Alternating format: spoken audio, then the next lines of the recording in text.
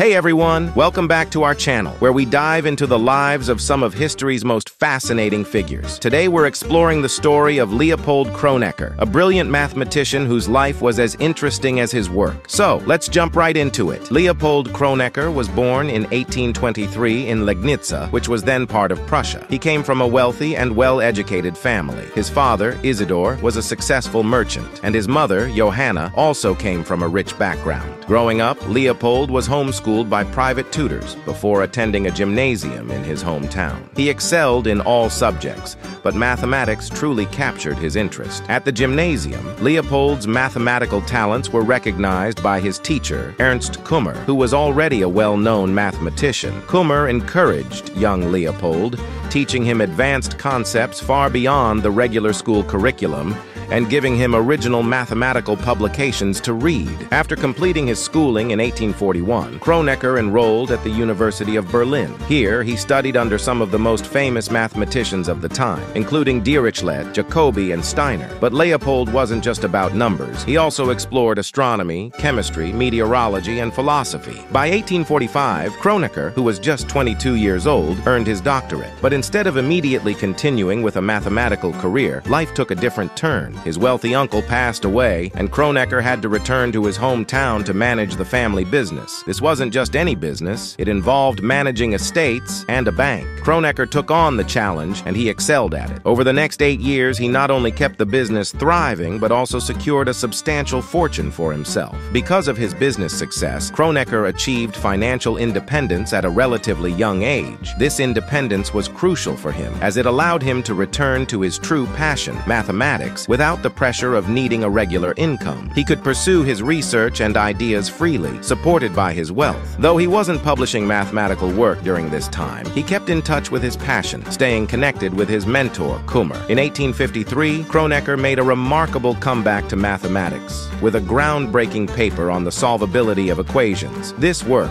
built upon ideas from the tragically short-lived Évariste Galois, gained him widespread recognition. By 1861, he was elected to the Berlin Academy of Sciences, and soon after he became a member of prestigious academies in Paris and London. Kronecker wasn't just a mathematician, but a man of strong beliefs. He famously said, God made the integers. All else is the work of man. He argued against the study of certain types of numbers, particularly complex numbers, which led to heated debates with other mathematicians. The most intense and famous conflict was with Georg Cantor, the founder of set theory. Kronecker was vehemently opposed to Cantor's work. The conflict between Kronecker and Cantor wasn't just academic, it was deeply personal. Kronecker used his influence to block Cantor's work from being published and even prevented him from obtaining a professorship. Despite his unorthodox views, Kronecker was respected and admired. Although he wasn't formally employed at the University of Berlin, he gave lectures there regularly. However, his lectures were known to be quite challenging, leaving only the most dedicated students by the end of each course. In 1883, Kummer retired, and only then did Kronecker become a full professor at the university. On a personal note, Kronecker married his cousin, Fanny Prausnitzer,